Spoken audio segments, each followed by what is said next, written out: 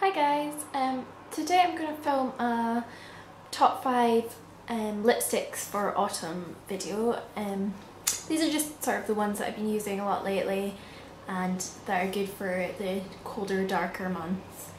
Um, so before I get started, you might have noticed my background has changed yet again. I'm still trying to work out where's the best place like for lighting, so I hope it's alright. I think this may be slightly better than it was before. I don't know. Leave me a comment if you have any suggestions. Um, the other thing is you might notice I'm wearing eyeshadow, which I never ever do, but I'm going out for my friend's birthday tonight and just sitting doing my makeup and I thought, why not? So put on some eyeshadow. So um, yeah, give it a little thumbs up down below if you like the eyeshadow. Um, so anyway, I'll just get on with the make uh, the lipsticks even. Uh, the first one I've got here is a Barry M one. Um, annoyingly, I can't remember what the shade is called, but it's got a number on the bottom, 136. But I will look it up and write down the name of it in the description bit below.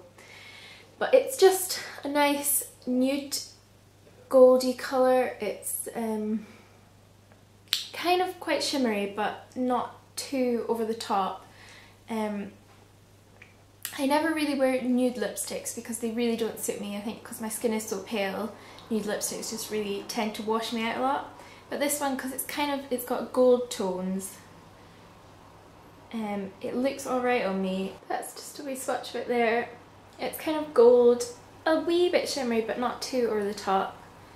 Just like nice nude colour, which would be good for people that don't really like wearing nude colours. So that's Barry M136. I will look up the proper name of it and, um, write it down below.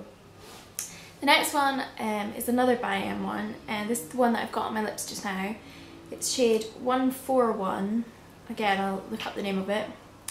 And I had a bit of an incident with this lipstick. I'm not sure what happened, but um, I went, I was just raking through my makeup box the other day and found this one. I thought, oh, that's really nice colour for autumn, so I'll dig it out and start using it again.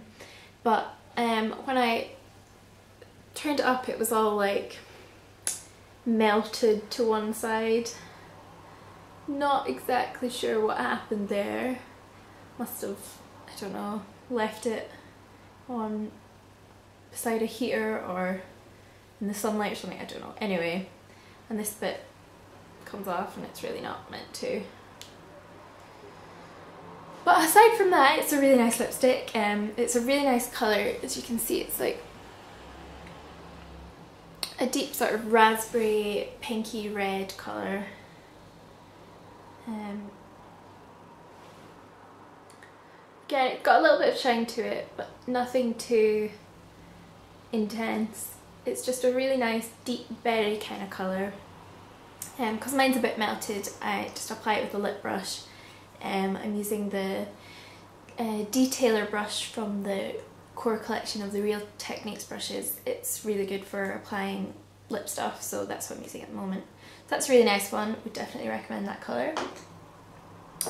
Um, next one is a little bit more expensive. It's a MAC lipstick and it's the shade Russian Red, which is just a classic deep red shade.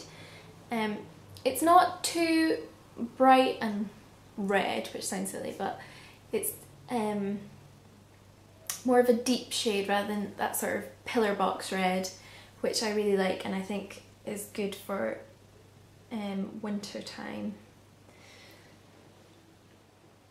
I think it's quite bright on the camera, but in real life it's quite a deep shade. I just keep saying deep, I don't know how else to describe it. Um, it's also a matte shade so as you can see it doesn't have any shimmer or anything to it. It also smells really nice. It's got that kind of like vanilla-y sort of scent that MAC lipsticks have. It's really nice, I love this. It also, it's really creamy and long lasting. Um, you don't have to reapply it too often. It's just really good. Um, definitely my favourite MAC lipstick shade and it's perfect for autumn and winter when it's a bit darker and want something bright on her lips. The next shade is a number 7 lipstick. It's the Stay Perfect range and it's shade 55 Glace. This is more of a pink lipstick. Um, but again, it has gold tones in it, which I think is really nice in the winter. Um, maybe it's just because it reminds me of like Christmas parties and stuff, but I definitely love gold tone things in the winter time. Um, you can't really see the gold so much on here, but well, you can kind of see it. It's kind of one of those like two-tone ones, like when you look at it one way it looks really pink and then when you look at it another way it looks quite gold. So I really like that and that is like super super creamy, the formula of this, it's really nice. Um, I'd say it's much more like creamier than the MAC lipstick. It's just, it's really pigmented as well, like much more so than the Barry ones. I really love the colours of the Barry ones but they're not quite as good for like staying power um, but this one is really good. This is actually the only number 7 lipstick that I have but it's really nice so I think I might um, purchase some more. So if you have any recommendations for shades um, that are really good then do leave a comment. And on to my final one, number 5 is an e.l.f. lipstick in the shade Voodoo. It's again a red shade but it's much darker, sort of almost like a burnt not a burnt orange, but I don't know what the word for that is. Much deeper sort of. It does have orange tones, the Russian Red's kind of more of like a blue toned one. But as you can see that's kind of a bit more brown. That's that one there. And that's the MAC Russian Red.